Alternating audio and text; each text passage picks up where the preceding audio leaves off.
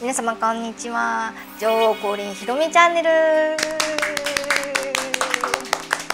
で今回はですねこのジャーナルプレプルーフスっていうところに出た中国の臨床試験を取り上げたいと思います。皆様が今気になっているあのー、まあ新型コロナウイルスにかかってしまった時にどういう治療法があるのかなっていうことですね。ここで使われているアピガンティお薬はですね実は日本人が開発したんですね。で、えーと、これをちょっと今日は取り上げたいと思います。でですねこのアビガンティお薬あの、まあ、一般名はファビピラピルっていうお薬なんですけれどもこれは RNA ポリメラーゼというものを阻害するものなんですねもうちんぷんかんぷんになってきましたね。簡単に言うとあの R これ RNA ウイルスなんですけどその RNA ウイルスが増えないといけないじゃないですか。増やす時にコピーするのに必要なんです。RNA ポリメラーゼっていうのが働いてコピーされていくんですね。なのでコピーするよう時に必要なその酵素を阻害しちゃうっていうお薬です。でそれともう一つはあのプロテアーゼ阻害剤っていうものがあってこれあの抗 HIV 薬ですね。この2つを比べたものですね。そうなんですえっと、プロテアーゼ阻害剤はロピナビルっていうのとリトナビルっていうのの2剤を使っています。まあ、ここここにアブストラクトがあるんですけどこれを要約するとですね中国では重症な急性呼吸器症候群 ARDS っていうんですけどそれを発の集団発生とその原因となるコロナウイルス疾患が2019年の12月頃より報告されておりましてで16%以上の患者さんが、え ARDS を発症し致死率は約 1, 1から2%でした。え特異的な治療法がないっていうことで、えここで、えこの COVID-19 の治療に対するファビピラビルっていうのとリトナビル、えロピナロピナピルを、えの効果を比べましたということでですねでその次ですね画像的にこう見て分かりやすいところに、まあ、これあの肺炎を起こしているこういう人たちに投与しましたよ、まあ、これは良くなったらこうなりましたよっていう画像だと思いますけど像だと思います。であの年齢とか、まあ、そういうものいろいろ出ていますけど、まあ、皆さんこういうの見慣れてないので嫌だと思うので飛ばしちゃいます。ということでですねこれこれだけ見てください。これこれファビピラビルねそうこれはロピナビルの方ですね。この破線の方。ウイルスがあのこのファビピラビルの方が明らかにこう少なくなっていってますよ。こちらの方が効いてますよ。こちらの方が効果がありましたよ。というものいう論文がこれです。でちゃんとあの、えーと、と医学統計医療あの統計学的にちゃんとあの統計処理もしていまして有意差がきちんと認められている。ということなんですね。なのでまあこれ非常に期待できるお薬かなと日本でもあの臨床試験がなされてますよね治験が。もともとこのファビピラビルっていうお薬はですねアビガンはですねあの、えーと、新型インフルエンザが流行った時にですね、えーと、その後できたのかなで備蓄されてたあったんですよ。でそれを今でも本来そのインフルエンザの薬なんだけどもであの病病名が変わると使えないのでで臨床試験って形でやって治験っていう形でやってます。なのでまあでもそういえばこれをですね神さんがそうそうこれをだから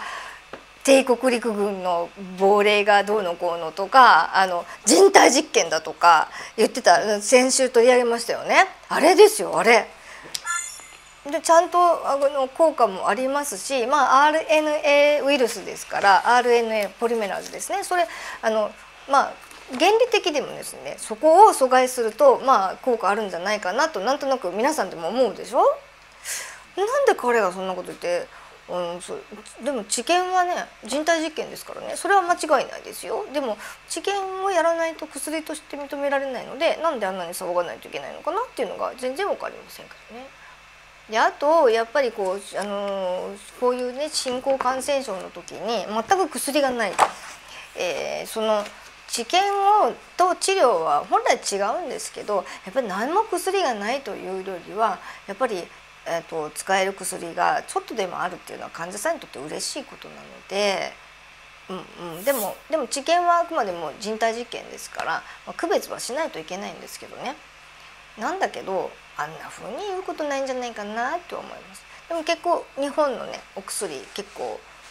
活躍してますよね、うん。えっと、もう一つですねあのこの COVID-19 ですね。これ COVID-19 っていうのはこの、えっと、SARS-CoV-2 ウイルスに感染して症状が出たその病名が COVID-19 なんです。皆さんちょっと混乱してますけどまあまあなんか一緒にしてよって思うんですけどね。でこの COVID-19 に対して、えっと、もう一つあの有効だなっていうふうに報告されているのがこのヒロロキヒドロキシクロロキンとアジスロマイシンの併用療法です。これはあの CDC のホームページにもあります CDC はなぜかですねアピガンは無視してるような気がするんですけどね私ね。うんでこれあの長崎大学の先生が出してるものですけれども、まあ、ヒロロヒトロキシクロすいませんひろみちゃんあの舌足らずなので バレちゃいましたアナウンサーにはちょっとなれないんですよちょっとなりたかったかもアナウンサーに。でいきます。ヒドロキシクロロキンはえ免疫調節作用抗炎症作用を有しまして一般的には全身性エリトマテオスなどの治療に用いられる薬ですがインビトロで、えっと、SARS ウイルスに効果があったということが報告されておりましてえー、今回の COVID-19 の症例に対し、えー、中国で使用され臨床的に効果があったことが報告されています。また日本においても同同薬剤が有効であったことが感染症学会のホームページからの新型コロナウイルス感染症サイトに症例報告として掲載されています。でヒドロキシクロロキンを使った方が赤ですね。でただただのこのクロロキンを使った方が上ですね。でやっぱりこのヒドロキシクロロキンを使った方がウイルスが減るのに効果があったよというものですね。でまたもう一つですね。最近の重複感染予防目的でアジスロマイシンが投与された6例ではヒドロキシクロロキン単独投与群よりもさらに顕著にウイルス量が低下していた。っていうことが報告されています。えー、この緑のがアジスロマイシンを一緒に投与した方ですね。でこのアジスロマイシンってお薬なんですがこの、えーと、マクロライド系のこういうお薬っていうんですけどこれってですね実はあの炎症を抑える効果があるんですね。抗菌薬なんだけど炎症を抑える効果があるんですよ。まあ、そういう意味でもいいんじゃないかなというふうに私的には思いますね。うん。まあ、なのであの全くあの治療がないっていうわけではないのであの、まああのまあ、新新興感染症なのではございますが今までの今までにあるこういうお薬であの治療法が全くないということではないので皆様そんなに怯えないでください。まあ、なんだけどあの、えー、浮かれてですね花見に行くとか是非この時期にそういうことはやめていただきたいかなと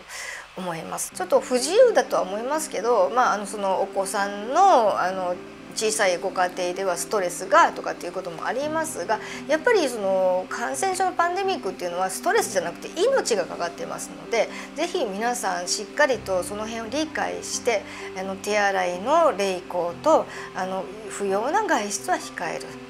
ということを徹底していただきたいと思います。よろしくお願いいたします。では本日もこれで終了いたします。ありがとうございました。